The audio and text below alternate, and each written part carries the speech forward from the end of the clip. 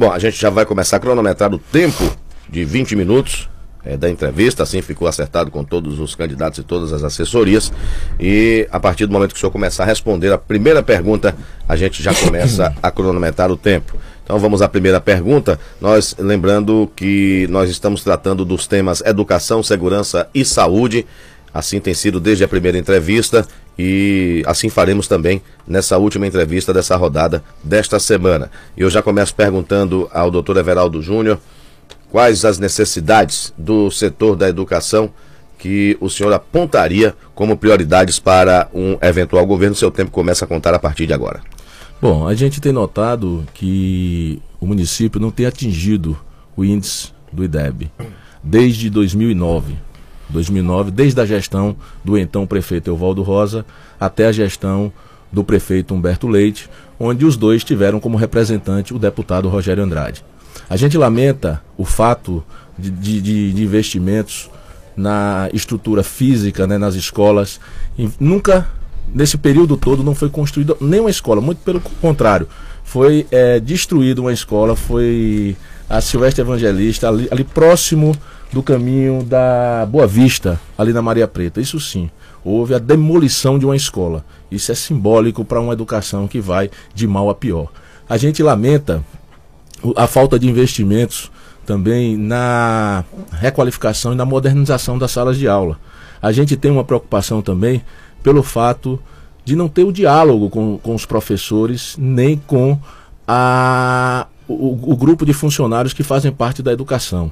A gente tem notado que o então deputado Rogério Andrade, na teoria, ele, ele se comporta de uma forma, na prática ele se comporta da outra. A exemplo, recentemente ele votou contra o funcionário público, principalmente os professores, tirando dele direitos, como a licença prêmio, e reduzindo, ou ampliando, aliás, é, o tempo para poder fazer a aquisição de tempo é, no cargos e salários, as pessoas poderem ter. Por exemplo, a Dalva Mercedes hoje recebe um salário de 7 mil reais, em decorrência de direito adquirido por ter sido secretária durante duas gestões. Nessa mudança de período que saiu de 10 anos, a estabilidade que saiu de 10 anos para 15 anos, se fosse agora, o deputado não iria permitir a professorinha ter um salário de 7 mil reais. Então, houve um acréscimo desse tempo. Então, na teoria, o deputado se comporta de uma forma, na prática, ele é outro. A gente lamenta também a posição do, do, do excelentíssimo senhor prefeito, que não, não utiliza os quase 50 milhões que é utilizado por ano na educação do nosso município.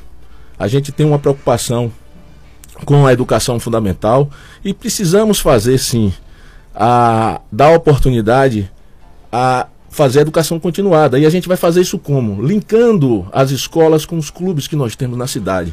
Nós temos aí o Clube dos Mil, o Clube dos Cem, que pode ser utilizado essa estrutura física para a gente poder é, propor lazer, educação, cultura para essa juventude. Até porque esses clubes têm um débito com o município. E esse débito pode ser revertido com convênios para que se possa o clube pagar, a prefeitura retornar esse recurso e ceder esse espaço para, esse espaço para que se possa fazer essas atividades é, esportivas, essas, essas atividades culturais e culturais para essa juventude. Com relação à educação inclusiva e à educação na zona rural, qual a visão que o senhor tem de momento e o que o senhor faria de diferente? Nós, nós temos aí um Instituto Federal o IFBA, que vai dar um grande apoio. Eu acho que é interessante a gente criar uma escola agrícola, agrícola para o, o, nosso município, para os jovens da zona rural aprimorar as técnicas de manejo, as técnicas para poder a gente fazer o cultivo da monocultura que nós temos aqui na nossa cidade e da própria pecuária. Isso através de uma orientação do próprio IFBA. Nós temos que dar acesso ao, ao escoamento da, do, do que é produzido na zona rural. Nós temos que criar um, um, centro de abastecimento que nós já temos, só que não é utilizado ali na, na, no lado da SEAS, ali próximo ao Clube dos Mil. Nós temos que evitar o intermediário, que faz com que o pequeno produtor ou produtor deixe de ganhar o devido valor e que se encarece o produto para o consumidor, para o consumidor comum como nós. Então a gente tem que ter essa preocupação, né? E através desse dessas medidas que a gente vai poder é, resolver esse problema, além de dar acesso a crédito. A gente tem que dar acesso a crédito, a material, a material para se produzir né, as hortaliças para se produzir os produtos agrícolas. Com relação à merenda escolar, candidato, e também a manutenção das escolas em Santo Antônio de Jesus, quais são seus projetos? Bom, isso já acontece no município de forma minimizada. Só existe uma relação com, se não me engano, a Associação da Sapucaia. A gente quer estender isso para as outras associações. A gente quer poder dar acesso à merenda escolar, aqueles produtos que são produzidos para o homem, pelo homem do campo. A gente precisa né, evitar doenças como a, a diabetes infantil, a obesidade infantil. Hoje as crianças já têm problemas cardíacos também. Então a gente fazendo esse, esse trabalho de prevenção, de trazer mais saúde através da própria alimentação e de atividades físicas, para que as pessoas, essa, essa juventude possa né, ter uma, uma, um acompanhamento melhor, nutricional melhor e com certeza terá um desenvolvimento melhor na sala de aula. Quanto à inclusão digital, não adianta você colocar Wi-Fi. Você tem que trazer para essa, pra, daqui a pouco as crianças vão estar lá só caçando Pokémon. A gente tem que trazer é, tecnologia e ciência das universidades né, para a instituição pública, não só para é, fomentar o aluno, mas o professor, dar formação técnica para o aluno e para o professor, dar uma biblioteca digital. Então, isso tudo dá informação para nós crescermos e melhorar os nossos índices do, do IDEB, que está aquém há muitos e muitos anos. Com relação aos estudantes que têm necessidades especiais, o senhor tem projeto para esse público estudantil também? Isso. E a gente tem que observar que esses estudantes, eles não podem ser hoje tratados de forma diferente. Ele tem que se, frequentar a sala de aula como um estudante qualquer, buscando fazer com que ele consiga vencer as limitações dele, para que ele possa desenvolver e ter é, esse convívio social com as outras pessoas. A gente não pode discriminar. A gente tem que dar oportunidade igual para essa juventude, mesmo que ele tenha uma, uma deficiência visual, auditiva ou até mental. Mas a gente precisa é, preparar o professor e os colegas deles para poder é, é, conviver com esses jovens que têm alguma limitação. A gente tem essa preocupação e a gente só irá fazer isso levando né, a tecnologia e a ciência das universidades para instituição pública. A gente linkar com as universidades, com a UNEB, com a própria UFRB, né, para a gente poder ter resultados melhores dos nossos índices e alcançar os objetivos que pretendemos. Bem, o senhor falou aí de muitos projetos com relação à educação para Santo Antônio de Jesus. É, nesse contexto atual, o senhor, mesmo com esses pensamentos, com essas propostas, o senhor vê alguma dificuldade para realizar algum desses projetos, caso o senhor venha chegar à prefeitura? Veja só, o recurso que nós temos não é pouco dinheiro. Quando você fala em 50 milhões por ano, é em torno de 4 milhões e meio por mês. Então a gente precisa utilizar com eficiência esses recursos. A gente vê hoje que o transporte escolar, as empresas que são contratadas hoje são as mesmas da gestão passada, a gestão de Dr. Evaldo, a gestão de Humberto Leite, que foram sempre né, apoiadas pelo deputado Rogério Andrade. Então a gente não vê o, modelo, o modus operandi é o mesmo. As grandes empresas que prestam serviço à prefeitura hoje, desde a empresa do lixo, que é a Copa, foi a mesma empresa da gestão de Dr. Evaldo e a gestão de Humberto Leite. A Lorentur, que faz o transporte escolar e o transporte público também, é a mesma empresa. Então a gente vê um, um, uma certa acomodação. A gente precisa provocar né, a transparência, a gente precisa fazer uma gestão diferenciada, porque as pessoas estão acomodadas. Só traria mais alguma empresa como é, é, é para trabalhar junto com as que já estão aí? Dizem que a, a, concorrência é a alma do negócio. A gente tem que colocar as empresas para elas poderem desenvolver um trabalho diferenciado. Então, tá aí as empresas de forma acomodada, provocar uma, uma, uma nova licitação para que a gente possa né, tirar os vícios que estão aí. Hoje as pessoas reclamam do acesso à limpeza pública na zona rural. Tivemos no Cocão a reclamação, não se passa o caminhão de, do lixo em, em, local nenhum. E aí provoca, é, o lixo é queimado, né, provocando a, a a, a a coleta. A coleta, né? A gente tem uma, uma, A coleta é feita queimado o lixo. Então, é a poluição ambiental, provocando a poluição ambiental.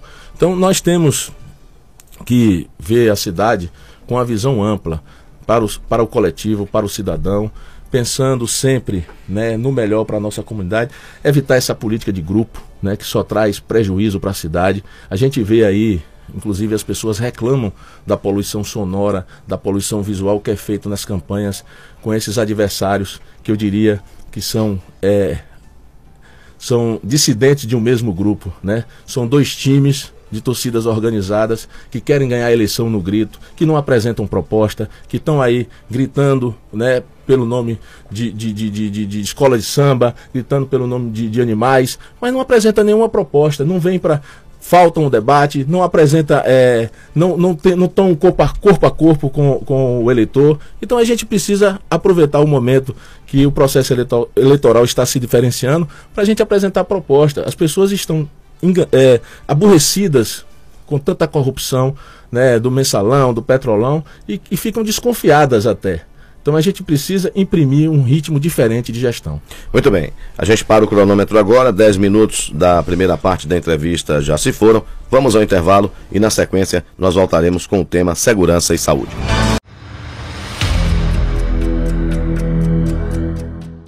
Estamos de volta com a nossa série de entrevistas. Hoje o entrevistado é o candidato doutor Everaldo Júnior, prefeiturável de Santo Antônio de Jesus nas eleições 2016. E nós retomamos agora a nossa entrevista e já soltando aqui o cronômetro, o senhor tem mais 10 minutos de bloco de entrevistas a partir de agora. E a, o assunto agora é segurança. Perguntando já o candidato doutor Everaldo Júnior, Santo Antônio de Jesus vem registrando aí um número crescente de homicídios. Só esse ano já temos 33 registrados em 2016. Qual a responsabilidade da prefeitura na busca para mudar essa realidade? Qual será a responsabilidade da prefeitura caso o senhor venha a ser eleito? Bom, a responsabilidade é toda nossa, da sociedade organizada, do governo do estado e do governo municipal. A, so a responsabilidade é principalmente do deputado Rogério Andrade, que representa o governo do estado e que representou todos os prefeitos que se passaram, da, desde Álvaro Bessa, de Evaldo Rosa e de Humberto Leite. Né? Todos são omissos. O ano passado nós fizemos um festival ou um, um fórum para discutir a questão da violência e não tivemos a presença nem do prefeito nem do deputado para discutir esse assunto tão importante. Sabemos que a violência é uma doença social. Discutimos isso com a comunidade, discutimos isso com a sociedade organizada, com os, os advogados, né, com os estudantes da UNEB, com o Instituto, Instituto de Humanidade e Cidadania. E aí, meu caro Itajaí, foi elaborado um documento. Esse documento, de forma transversal, construído de, de forma transversal, é, diferente do Pacto pela Vida, que é uma coisa verticalizada, engessada, onde não se leva em conta a geografia do município, a história do município, a, a, os problemas de cada bairro, né, de cada município. E aí foi discutido, construído esse documento, levado para as autoridades. Houve alguma resposta? Não. Nem do governo do estado, nem do deputado Rogério Andrade, nem do prefeito Humberto Leite, nem da Câmara Municipal, nem da Assembleia Legislativa. Então, isso nos motivou também a encarar esse desafio de ser prefeito, para a gente colocar essas ações, essas solicitações da comunidade em relação à violência. Mas além de fóruns para se discutir a violência, temos também que fortalecer a guarda municipal. Temos que ampliar o número, acho que são 30 e poucos né, guardas municipais. Temos que é, fornecer mais veículos e equipamentos para poder desenvolver esse trabalho. O senhor é a favor da Guarda Civil Armada? Temos, só um minuto, temos que ampliar o número de câmaras, né? Porque hoje tem apenas 15 em Santo Antônio de Jesus, a gente tem que alcançar o mínimo número de 50 monitorar os bairros que são mais violentos para que a gente possa distribuir isso de forma descentralizada e com eficiência para a gente poder detectar onde é, existe uma, o maior grau de violência. Temos que ter uma, um serviço de inteligência onde a gente possa interligar as polícias, fazendo a prevenção de, dessa questão, dessa doença chamada violência. Temos que criar mais acesso à defesa civil, criar os cargos de bombeiro civil para poder é, evitar as catástrofes do nosso município. Temos que criar um link com o próprio Conselho Tutelar, estar dialogando com o Conselho Tutelar da Adolescência e da Juventude. Temos que criar é, programas onde a gente possa desenvolver atividades físicas, atividades esportivas, atividades culturais e artísticas para poder ocupar a mente dessas crianças e da juventude. Temos que requalificar as nossas praças, não apenas a Praça Padre Mateus, né? Fa fazer a valorização dos bairros, né? Com, e principalmente dialogar com a comunidade. A responsabilidade é toda nossa e dos governantes que estão aí. O deputado tem 14 anos que representa o governo do estado. O deputado tem 14 anos que representa os prefeitos do município. Então, ele, a responsabilidade, inclusive, é maior dele do que qualquer prefeito que se passou aí. Então, a gente quer poder fazer as coisas acontecerem. A gente vê que o índice de violência ele, ele acontece principalmente com o jovem negro. Aí as pessoas, ah, mas isso é tráfico de droga. Ninguém quer se envolver com. Ninguém entra no, no tráfico de droga porque quer. As pessoas precisam de oportunidade. As pessoas precisam estarem com a oportunidade de trabalho, de, de fazer uma atividade física, esportiva, cultural. É por isso que a gente quer linkar os clubes com os colégios para tirar essa juventude né, da rua. É com esse propósito que nós tivemos a coragem de lançar a candidatura e mudar o conceito da gestão de Santo Antônio de Jesus, que é a mesma coisa há décadas. Muda-se as pessoas, as figuras, mas continua o modus, o modelo. E dizem o ditado popular que figurinha repetida não preenche álbum. A gente está vendo aí que tem um vice-prefeito que foi vice de Ovaldo Rosa, o vice de Humberto. A vice de, de, de, de Rogério é a eterna vice. É a vice de Álvaro, é a vice de Ovaldo, é a vice de Rogério. O, deputado Rogério sempre foi o deputado dos prefeitos. É o deputado do prefeito Euvaldo Rosa, é o deputado do prefeito Humberto Leite. E aí? Será que vai mudar alguma coisa? Tem condições de mudar alguma coisa? Se o conceito deles é o mesmo. Muito bem, vamos falar agora. Em relação de... à questão da Guarda ah, sim, sim. Armada, eu acho que não é, a opção não é essa. O que, o que a gente precisa é dialogar. A gente não precisa fazer repreensão. A polícia ela tem que ser a polícia cidadã, a polícia amiga, estar tá em contato com a, com as pessoas. Nós faz, no projeto Todos pela Cidadania, a PM sempre esteve conosco, levando informações, fazendo palestras. A gente sempre praticou a cidadania sem ser prefeito, não precisa. Porque nós temos uma preocupação com a nossa cidade, porque nós moramos aqui, Itajaí. Nós vivemos o dia a dia, nós conhecemos o nosso problema. Diferente, não precisamos importar prefeito. Há quatro anos atrás importamos um de Camaçari. Agora temos que importar um de Aliso Medrado uma pessoa que faz as coisas acontecerem aqui em Santo Antônio de Jesus, temos que dar um basta nisso. Muito bem, vamos falar agora sobre saúde. Né? Uma das principais demandas do município, por exemplo, o fornecimento de medicamentos. Né? Muitos, muitas pessoas reclamam que falta medicamentos eh, em várias unidades de saúde do município, assim também como a manutenção de alguns equipamentos que são importantes para o atendimento dessas pessoas nas unidades, seja na sede, seja na zona rural. Eh, o que fazer para melhorar essa situação em Santo Antônio de Jesus, caso o senhor venha a ser prefeito, doutor Veraldo? Primeiro, planejar. O orçamento da saúde são 52 milhões. Os medicamentos, não é, não é a falta de mertiolate, até porque mertiolate não se, não se produz mais desde 2001. A Agência Nacional de Saúde proibiu o uso de mertiolate por ser um produto derivado do, do mercúrio e que trazia danos para as crianças. Não é usando mertiolate que não se usa mais há décadas. São os medicamentos que são fornecidos, deputado, pelo próprio Estado.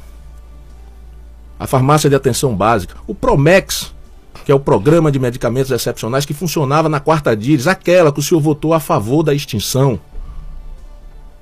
trazendo prejuízo para nossa cidade e para nossa região.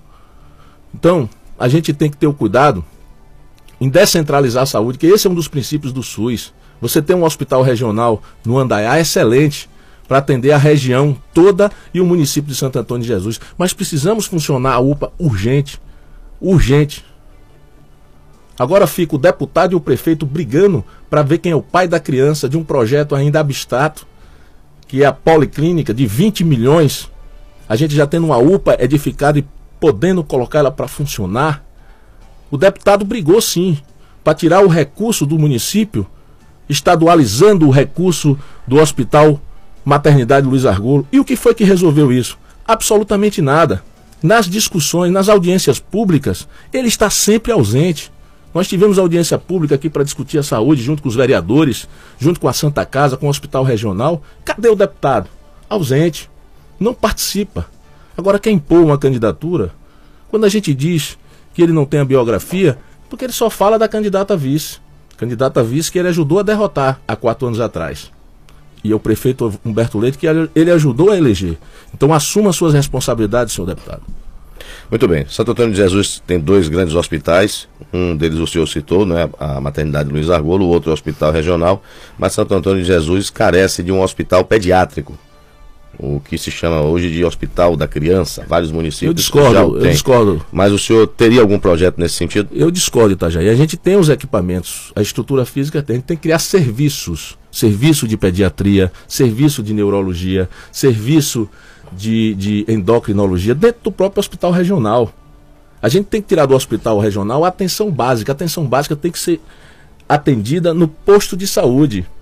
A gente tem que motivar o nosso, os nossos atendentes, nosso agente comunitário de saúde, os médicos, a equipe multidisciplinar que tem em cada posto de saúde. A gente tem que humanizar o serviço de saúde. A cidade está doente, as pessoas não têm acesso à saúde. A gente vê aí o prefeito dizendo o tempo todo que ama Santo Antônio de Jesus. Prefeito, quem ama, cuida. A gente tem que ter esse cuidado maior com a nossa população. Nos delírios né, napoleônicos, da vaidade do prefeito, que está atrelado à cadeira bonita da prefeitura, que não quer soltar de jeito nenhum, fica o tempo todo dizendo que, que as pessoas amam ele. Mas quem ama, cuida. Tem que ter o cuidado com a saúde, com a segurança pública. A gente diz sempre que a saúde, é, a cidade está triste, né, porque está insegura. E a cidade, a cidade está doente, né, porque as pessoas não têm acesso à saúde. É por isso que nós pedimos para a gente mudar os conceitos, para a gente mudar e votando no 27 é que a gente fará uma gestão participativa e diferente. O senhor tem 30 segundos para se despedir. É isso. A gente tem mostrado uma campanha limpa, uma campanha onde a gente, nós estamos conversando com a população, a gente está mostrando as nossas propostas, sem fazer a poluição visual, sem fazer a poluição sonora, que está aí sendo é, combatido o tempo todo pela polícia, e dizer ao povo de, de Santo Antônio Jesus que nós ainda não podemos perder a esperança. Vamos lá, votar consciente, votar diferente, votando no 27. Muito bem. Portanto, encerramos assim a nossa sequência de entrevistas do Andaial Urgente com os prefeituráveis de Santo Antônio de Jesus. Hoje foi a vez do doutor Everaldo Júnior, que acabou de conversar conosco.